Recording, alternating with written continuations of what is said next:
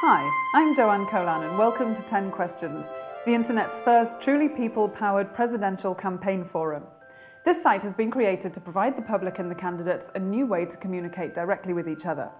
The internet offers unlimited time and opportunities for us not only to have input into what questions the candidates should answer, but also to give instant direct feedback as to whether the candidates actually answered the questions themselves. That's what 10questions.com is all about.